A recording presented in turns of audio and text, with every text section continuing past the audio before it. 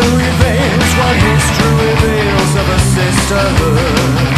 From another place and time. Those who claim to know will tell you it's only a fair.